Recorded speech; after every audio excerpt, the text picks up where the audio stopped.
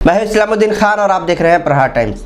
मुमरा सिलफाटा पर एक भयानक सड़क हादसा हुआ है। एक एक्टिवा सवार एक ट्रक की चपेट में आ गया। इस हादसे में खड़ी मशीन अमन कॉम्प्लेक्स के रहने वाले पति पत्नी की दर्दनाक मौत हो गई।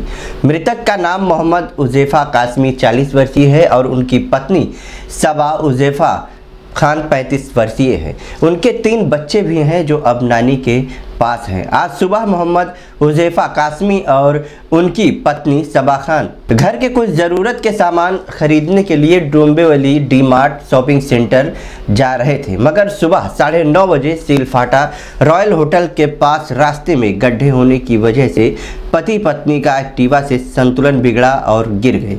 पीछे से आ रहे ट्रक की चपेट में आ गए और सबा हुजैफा खान की घटना स्थल पर ही मौत हो गई। मोहम्मद हुजैफा ट्रक के साथ काफ़ी दूर तक घिसड़ते हुए चले गए घटनास्थल पर मौजूद लोगों ने मोहम्मद हुजैफा को तत्काल कालशेखर अस्पताल पहुँचाया, जहाँ कुछ समय उपचार चलने के बाद आखिरकार हुजैफा की भी मौत हो गई। एक साथ पति पत्नी की मौत के बाद अब उनके तीनों बच्चों पर गमों का पहाड़ टूट गया है। बताया जा रहा है कि ये बच्चे अपनी नानी के पास हैं। वाई जैक्सन से लेकर कल्याण फाटा तक इसी तरह के खतरनाक गड्ढे आपको मिलेंगे, जिनकी वजह से एक पति पत्नी की मौत हो गई और तीन बच्चों के सिर से माँ बाप का साया उठ गया। आए दिन इन गड्ढों से हो रहे हादसों से लोगों की जान जा रही है, मगर शासन प्रशासन इन गड्ढों को भरने के बजाय चैन की नींद सो रहा है। तो तमाम खबरों को जानने के लिए देखते रहिए प्रहार टाइम ताज़ा तरीन खबरों के लिए हमारे यूट्यूब चैनल को सब्सक्राइब करें और बेल आइकॉन दबाना ना भूलें।